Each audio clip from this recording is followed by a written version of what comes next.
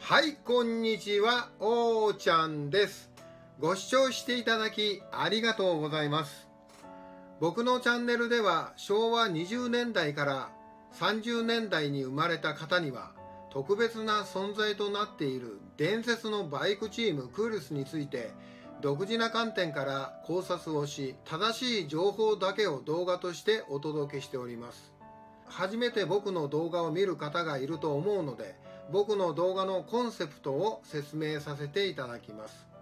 僕は中学の頃にクールスの勇姿を見てファンになりそれ以来クールスに憧れ熱狂的な信奉者としてクールスの出来事を史実に忠実に動画として配信しております。かれこれ半世紀近くクールスのファンをしているということです。今でもクールスのメンバーと接するチャンスがあれば同じ時間を共有すべく動いています。しかし現実は芸能人と一般人という関係上その行動には限りがあるのが現実です。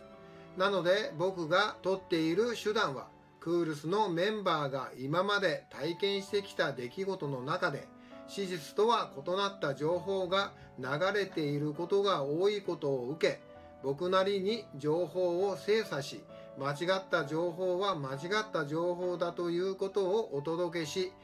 真実の情報を真実として動画として皆さんにお届けしているというわけです。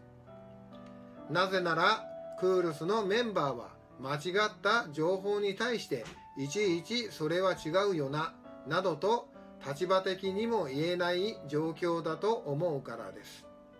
ちょっとおこがましい限りだということは承知の上で僕が真実を動画として流しているというわけです。なので決して僕はクールスの元メンバーでもなくあくまでもクールスの信奉者としての立ち位置で皆様に情報を提供しているわけです。さて僕の動画を初めて見られる方にお知らせがあります。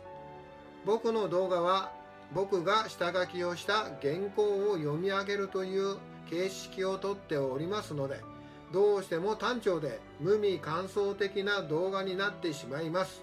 なので速度を2倍速にしてみることをお勧めしております。速度を速くすることによって単調さと下手な喋りがある程度改善されると思います。2倍速が速いという方は1.5でも1.75でも良いので速さを変えてみてください。やり方については説明欄にありますのでそちらでどうぞ。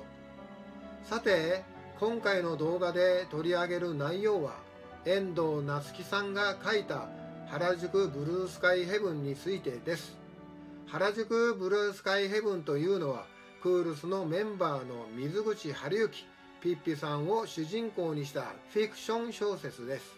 しかしその内容というのはフィクションではなく限りなくノンフィクションなのです。この動画では原宿ブルースカイヘブンが映画化が決まったにもかかわらず途中で頓挫した理由について考察していきます。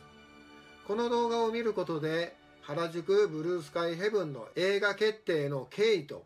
映画が作られなかった理由がわかるようになっています。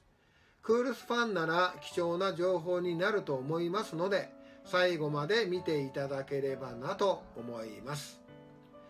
これからは暴走族をテーマにした映画が当たる。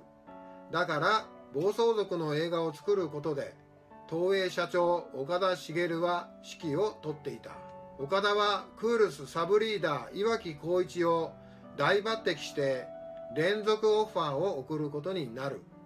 バンドクールスとしてデビューを果たしていたクールスリーダー舘ひろしにもオファーをするものの忙しすぎた舘からはオファーを断られてしまう。しかし諦めなかった岡田は舘ひろしをついに説得することに成功。そして増田優作主演映画「暴力教室」で準主役として出演させたのだった。危機迫る松田と舘の演技にクールスファンでなくともしびれたこの映画。東映映画の中でも名作の一つと言っていいだろう。暴走族を取り扱った映画は暴走族シリーズとなり岩城浩一舘ひろしを主人公に続々と封切りされたのだった。そして時代は西暦2000年代を迎えついにバイクチームクールスについての小説「原宿ブルースカイヘブン」が生まれた。原宿ブルースカイヘブンはバイクチームクールスそしてバンドクールスのメンバーでもあった水口春之ピッピさんを主人公に設定。ピッピさんの目から見たクールスの出来事メンバー間の葛藤などを取り上げフィクションという立ち位置で描かれているものなのです。しかし内容といえばフィクションではなくノンフィクションに限りなく近いもので作者の遠藤夏樹さんも自分の公式ブログで真実を書くのではなく事実を書いていると公言しているほどなのです。遠藤さんはブログの中で原宿ブルースカイヘブンを書くことにあたり驚愕の事実を舘ひろしさんから聞いたがそれを書くことができなかったと言っております。また岩城浩一さんからは「おい夏樹クールスの真実を書くのはいいけど真実を書くことで傷つく奴もいることを忘れるなよ。書けばお前はそいつの一生を背負うことになるんだからなと言われたそうです。だから夏木さんは原宿ブルースカイヘブンの中では事実だけれども真実は制限の中で書いているとおっしゃっています。そんな原宿ブルースカイヘブンに目をつけたのが映画業界。映画化の権利争奪戦が始まる中権利を手中に収めたのは東映だった。東映はスタッフを集め映画化に突き進んでいったのである。しかし映画化が途中で頓挫することになってしまった。映画化が頓挫する理由が次の通りである。原宿ブルースカイヘブンの映画は私たちはすごくやりたかった。しかし当時の原宿の街を再現するのに予算がいくらかかるのかわからない。ということになって残念だけど断念せざるを得なかったのです。この言葉は東映の取締役プロデューサーから遠藤さんが直接聞いたお話です。それは当時の原宿を再建するためにとてつもない制作費が必要になってしまうこと。この映画制作費がネックになり東映は映画化を断念したのであった。そして遠藤夏樹さんが次のように語っている。俺には真実を書くなどという権利などない。今でもその気持ちに変わりはない。クールスをかっこいいと思っているファンを裏切ってはならないしあくまでもクールスはかっこいいままであり続けなければならない。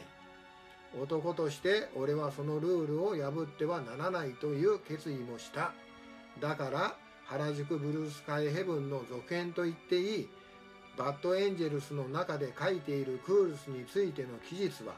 事実であるけれども真実は他にあるということを言わせてほしい。真実は今でもそしてこれからも俺の心の中にしまい続けなければならない。俺はそう思っている。クールスがクールスであり続けるために。遠藤さんはこのようにおっしゃっております。仮に映画になるとすると悪いイメージのまま映画になってしまうメンバーが存在すること。これがネックになるということなのです。ということで今回はこの辺で失礼します。良いことについて真実を書くのであればいいのだけれど悪いことを書くというのはその人の人生までも著者が背負わなければならなくなる。この辺は本当に難しいお話ですよね。最後までご視聴していただきありがとうございました。それでは次の動画でまたお会いしましょう。おーちゃんでした。ではまた。